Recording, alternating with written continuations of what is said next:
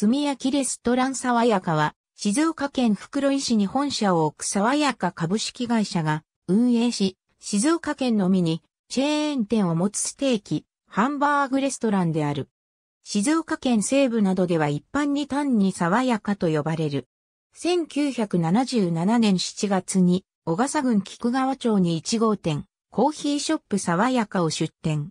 以後静岡県西部地区を中心に店舗を展開。1988年6月の浜松和号店出店に伴い本部を同店に移転。その後、1989年8月に店名を現在の名称、炭焼きレストラン爽やかに変更し、2004年7月には、袋井市の本部総合センター用地に本社工場を新設した。出店1号店である菊川本店は2006年6月に閉店し、翌月に移転、新築オープンした。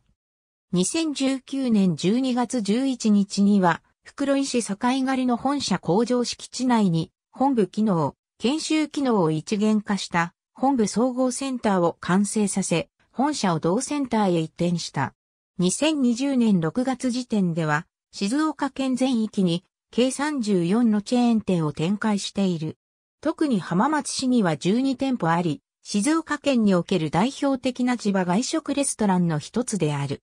ハンバーグは赤みが残っていることが特徴で、材料の鮮度、品質を保持するため、出店範囲は静岡県内に限定している。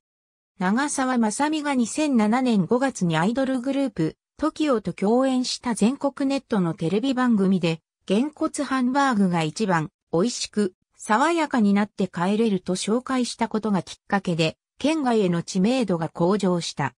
御殿場インター店は、首都圏からのアクセスが良いことから、特に入客が多く、調べへの取材によれば、2019年のゴールデンウィークには最高で520分待ちを記録した。また、最西端の店舗である新居古祭店は、愛知県側からの来店が多い。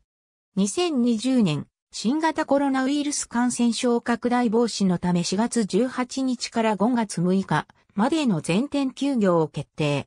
その後、静岡県内の各自治体からレストランに対する休業要請が出されたことに伴い、休業を延長してきた。要請の解除と県内情勢を踏まえ、5月21日から28店舗の営業を再開した。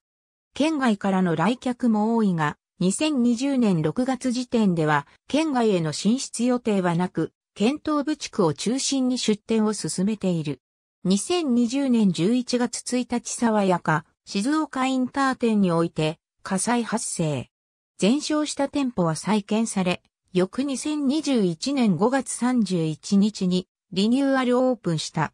げんこつハンバーグ本店の名物メニュー。